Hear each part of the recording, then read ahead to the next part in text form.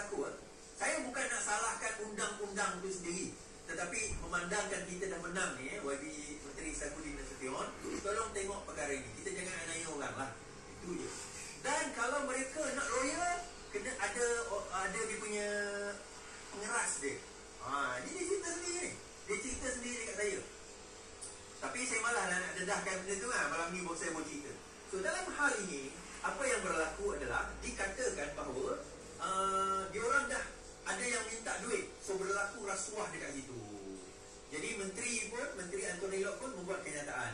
Tak timbul isu tiong ceroboh semua eh, ceroboh semua menteri ada pas VIP setiap uh, menteri mempunyai pas VIP untuk memasuki kawasan KLIA kata Anthony Locke ini setelah menteri pelancongan Tiong uh, King didakwa